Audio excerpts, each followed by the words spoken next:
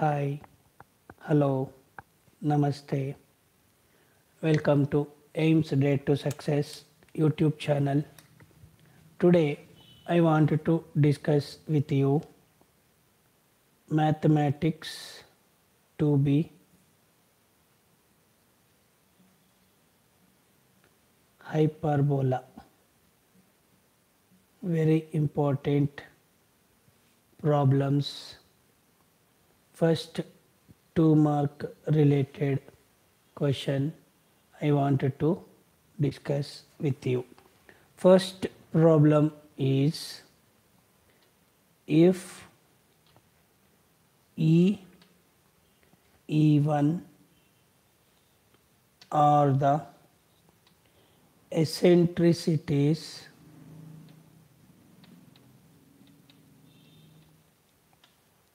of a hyperbola.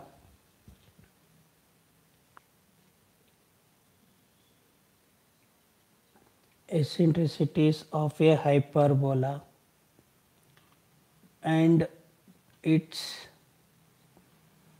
conjugate hyperbola. Then show that 1 by e square plus 1 by e1 square is equals to 1. This is the question from hyperbola my dear students. So first of all according to the given problem hyperbola eccentricity E is equals to under root a square plus b square by a square. It is the hyperbola of the it is eccentricity of the hyperbola.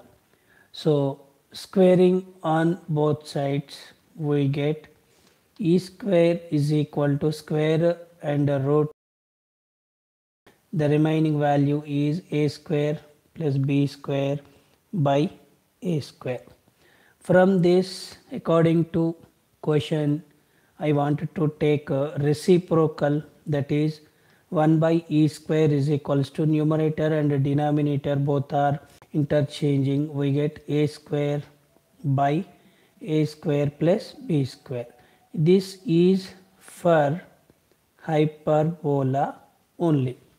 Okay, next uh, we will take a conjugate hyperbola that is E1 is equal to under root a square plus b square by b square it is for conjugate hyperbola.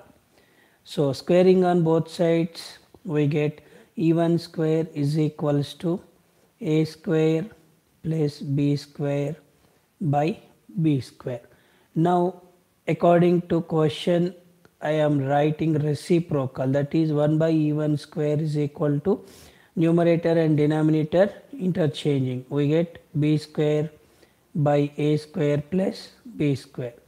This is a conjugate hyperbola.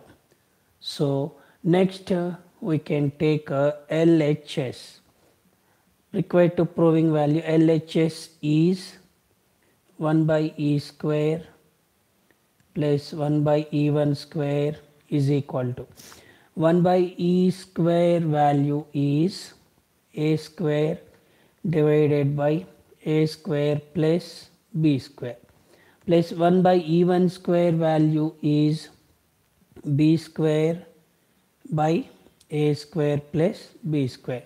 From these two values we are having LCM is a square plus b square.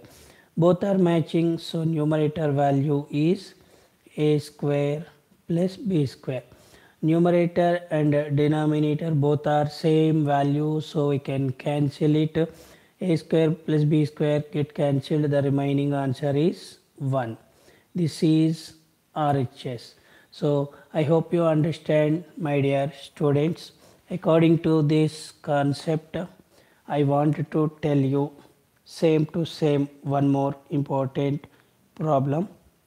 Now I am erasing this and I can write next problem. This is useful for both competitive exam and board exam Telangana, Andhra Pradesh also, CBSE, NCERT also. So, my dear students, now I am writing similar problem. if the eccentricity of a hyperbola is 5 by 4 then find the eccentricity of its conjugate hyperbola. They have given for us eccentricity of the hyperbola we can find eccentricity of its conjugate hyperbola. So according to previous concept formula is 1 by e square plus 1 by e1 square is equals to 1. This is the formula my dear students. According to the problem given eccentricity of the hyperbola is 5 by 4.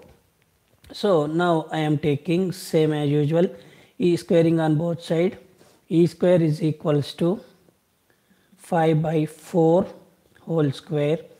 That is 5 5 are 25 divided by 4 4 are 16 but we are having 1 by e square value. So squaring completed. Next we can take reciprocal.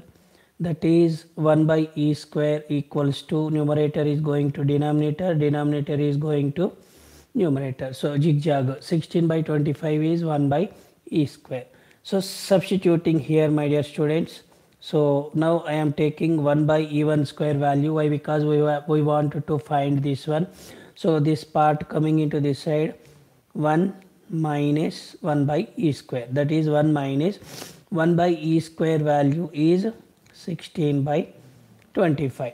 So 1 means 1 by 1. So can I take LCM my dear students? Yes. 25 is LCM cross multiply 25 ones are 25 minus 16 ones are 16.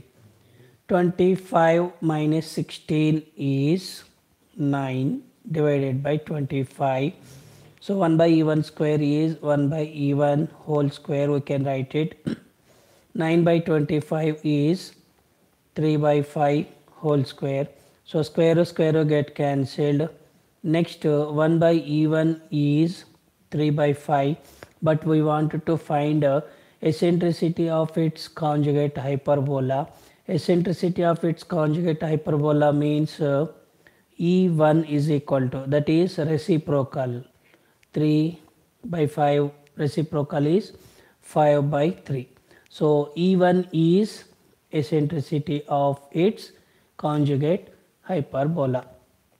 I hope you understand my dear students. If you practice like this concept wise questions, you will get concept as, as usual marks also.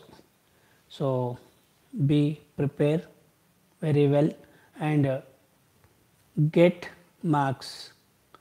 Thank you. Take care. Bye bye.